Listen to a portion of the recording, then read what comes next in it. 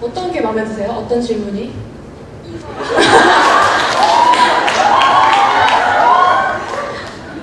제목 문근영과 라니 언니 어, 이 사진을 보신 적이 있나요? 하고 물으셨는데 네, 본 적이 있어요. 어떻게 생각하시는지 아, 너 들어오기도 전, 들어오기 전에 네. 미란이 언니가 네. 너랑 나랑 똑같은 게 있다고 우리가 아닌데 있냐 물어보더라고요 그래서 본 적이 있다고 그래서 어디서 그런 걸 찾았는지 모르겠다고 그래서 되게 신기했었어요 네. 마음에 드셨나 보네요 굉장히 굉장히 인상적이었어요 이거는 이제 이따가 그 네, 라니 언니께 선물로 드리도록 아, 네. 하겠습니다 네. 문근영 씨 kup할 때 어느 손가락 이용하시나요? 궁금하신가요 여러분?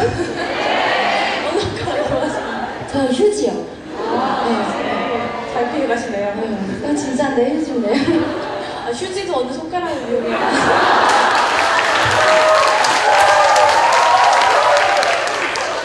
음, 저희 잡혀가나요?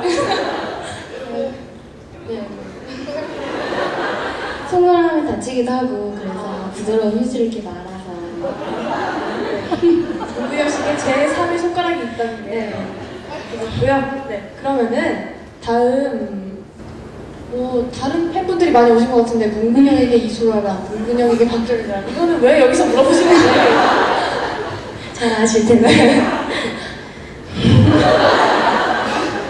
아 오늘 쿠키 받는데 쿠키 며칠이나 보관가나요? 혹시 아시나요?